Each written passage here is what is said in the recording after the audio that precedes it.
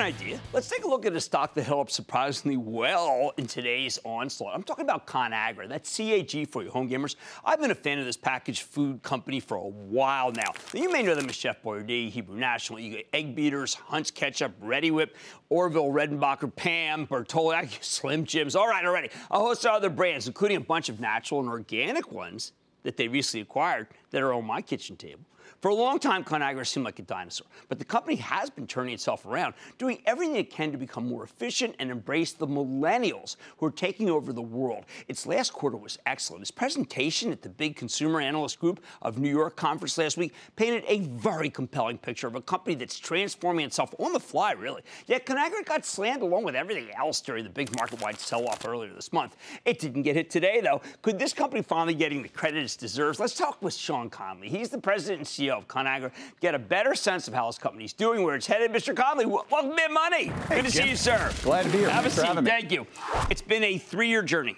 In the time that you have taken this company over, I have to tell you, this is the most serious reinvention. I want you to trace it for our, for our viewers because it is monumental. Well, when I got there, I said, let's let's not waste a good crisis. We were a company that was struggling, and we were really a global conglomerate. In the last three years, we became a branded pure play. One of the first decisions we made was exiting the large private brands uh, business that we had acquired. That didn't go well, and I'm glad we That, did.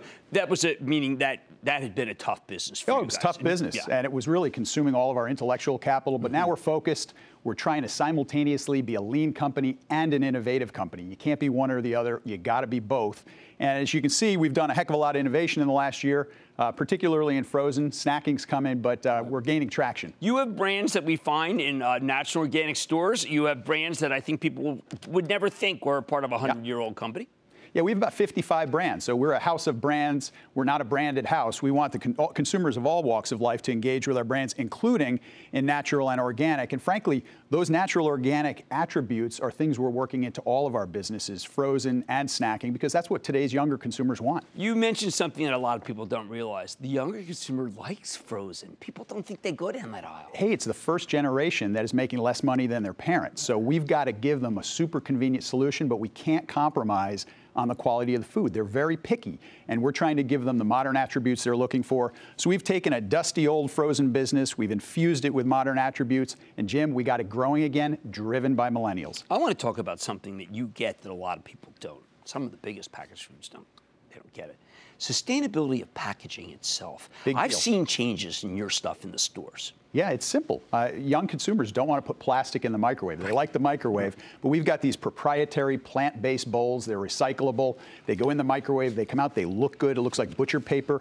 Our consumers love it, and they're buying more of it. And really, that's what's fueling our growth so far. Now, there are people who think that you have dead brands. Now, one of the things when I was growing up, we had Banquet on the table. I thought that was dead, buried. Not the case. Hey, Banquet is the single biggest brand in single serve meals in terms of, of unit volume. But for years, it was at a dollar, and we took Banquet, we liberated it from that dollar price point. We put quality back in the food, we upgraded the packaging, and guess what? Banquet is growing again. It's a big business, appeals to about 50 million households. 50 million households. I remember when you came out with Healthy Choice and it was modern and cool. And then it languished, and I started thinking it was old. You've got a new look for that, too. Yeah, it was all about heart health, and that really is a small demographic today. So we've broadened it to active lifestyle. That business is up 16%. I shared a bunch of that innovation last week. We have a new innovation called Power Bowls. It's super low calorie, clean label, bold flavors. Younger consumers love it, and that's what's driving the growth. Acquisition, one that's working. We all know it. We see it in the supermarket. Talk about it.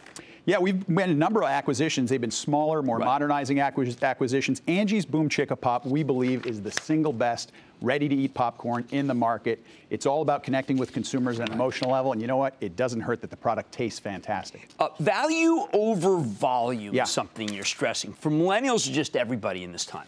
That is about unwinding bad legacy practices our company had. And you're, you admit, Yeah, we but it wasn't your yeah, company it- that did. I mean, it's 97 years before you. It goes back decades. Okay, tell me. Pushing products to at consumers and trying to motivate them to buy it strictly on low price points, Right. not giving them modern attributes. So we had to pull back on promotion. We had to update and modernize all of our products across all our key consumer segments.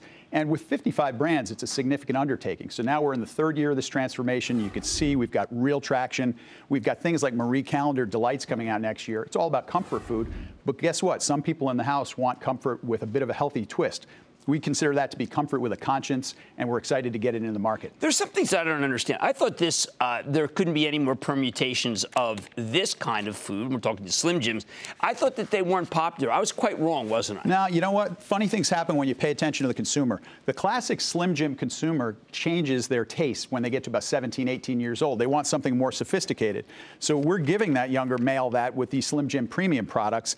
And then as they get to about 30 years old, we have another product we trade them up to, which is Duke's Shorty Sausages. Really excellent, clean label, gluten-free product, and it's just a terrific way to run that continuum for that young male as they go from their teens to their 20s into their 30s. last question, obviously today, trade on everybody's mind. Is China going to shut you out? Would it mean anything? And alternatively, how about corporate taxes? Has that been good for your bottom line? Well, you know, this is breaking news on the trade piece. Uh, you know, we import some steel. I don't think it's a big deal for us, but let's see how the dust settles there okay. before we, we get too far into that. Uh, in, in terms of taxes, we're going to benefit to the tune of 120, 110, 120 million dollars a year. Found money. We've got a balanced capital allocation philosophy. We'll continue to have that. We'll invest back in the business.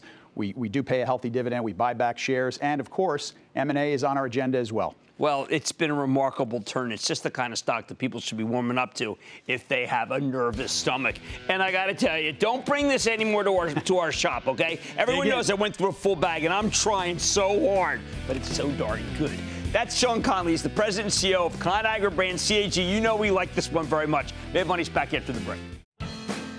Booyah! Jim Cramer here from Mad Money. Thanks for watching CNBC on YouTube. Click here to subscribe and get the jump on my exclusives with CEOs, plus market news, investing advice, and a whole lot more.